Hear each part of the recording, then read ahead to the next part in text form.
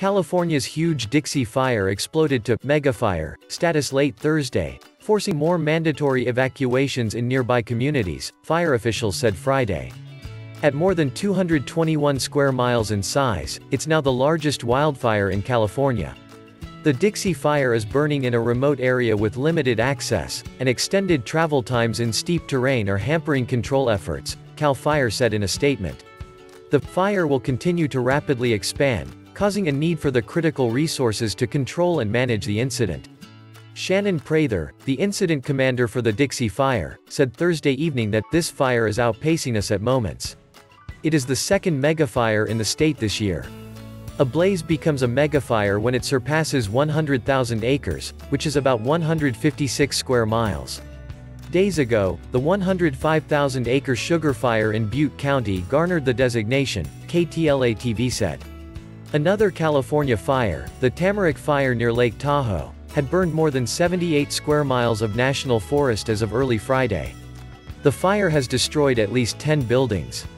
Fire officials expected active or extreme fire behavior on Friday in the Tamarack fire because of afternoon gusts and temperatures approaching 90 degrees. Meanwhile, further north in Oregon, crews were making progress in the fight against the nation's largest fire, the bootleg fire, as weaker winds helped reduce the spread of flames there. The fire, which has destroyed an area half the size of Rhode Island, was 40% contained after burning some 70 homes, mainly cabins, fire officials said. At least 2,000 homes were ordered evacuated at some point during the fire and an additional 5,000 were threatened. Nationally as of Friday morning, some 83 large fires and complexes were burning 1,366,587 acres, or roughly 2,135 square miles, the National Interagency Fire Center said. Almost 22,000 wildland firefighters and support personnel are assigned to incidents across the country, the NIFC said. Smoke from the western fires continues to spread across the country Friday, leading to hazy skies and poor air quality in many areas.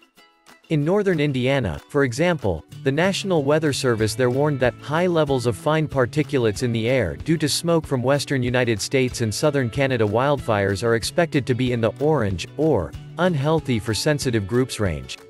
The Weather Service added that people with respiratory diseases such as asthma avoid prolonged outdoor exposure or exertion. Growing research points to potential long-term health damage from breathing in microscopic particles of smoke, with millions of people potentially at risk far from where huge fires burn. Contributing. The Associated Press.